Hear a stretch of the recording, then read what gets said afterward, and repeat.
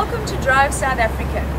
My name is Manon Hartman and I'm here to show you the Discoverer 4. Over here we can see the engine. As I said, 2.3 litre turbo diesel 16 valve, powerful engine.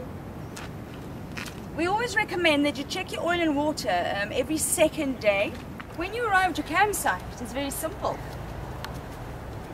You take your electrical cord, plug it in, take your table and chairs, put them outside, and you are ready to relax. On the outside, we've got the air vent for the hot water geyser or the boiler. Over here is one of your two outside lockers. Your electrical cord would be kept in here, as well as your cross spanner, should you have to change your tire. There's also a jerry can in there to fill up your water tank with a funnel. And there are also two wheel blocks, which you can use in the event that your camper is not very level. You would just roll your, your tires on there and level yourself out. We also have the uh, electric box in there, the fuse box, and the battery charger. So that's all stored outside here. This is your second outside locker. It's empty at the moment, but don't be fooled. Your outside table and chairs will be stored inside this locker. Your camper has a chemical cassette toilet. When your cassette is full, you need to empty it. All you need to do, pull your cassette out. Always ask at the campsite where you can empty this. This is where you would fill up your diesel. It is on the passenger side.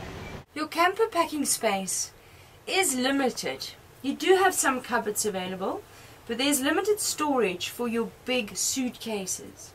So what we suggest is that you use the suitcases that are soft and once you've unpacked you can squash those suitcases.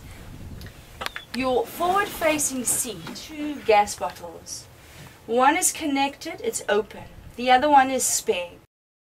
In order to make this into your second double bed, it's a fairly simple procedure.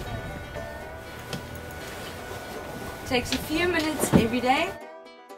This forms the base of your bed. Now it will be like a little puzzle to get all your cushions inside.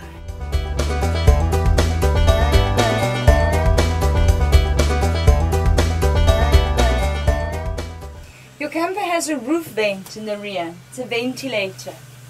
You'll simply turn it to open and you switch it on. It works off the batteries of your camper. You can choose either to have the air come in or you can change the button and have the air sucked out like an extractor fan, especially when you're cooking or if it's extremely hot inside. Some people prefer to leave the back as a bed permanently, which is also fine. And it gives you a little bit of extra storage underneath the bed. Your aircon is something that you sometimes desperately need in South Africa. You have an 80 litre Engel fridge on board. You also have a hanging cupboard. Your camper comes equipped with all your kitchen needs. Your gas stove and the geyser in gas mode are the only two things that work off gas. The camper comes equipped with plates, bowls and mugs. We also provide pots, pans, stove, kettle, as well as a teapot. South Africa is a beautiful and diverse country with lots to see and do. With your camper, you can go to most of these places.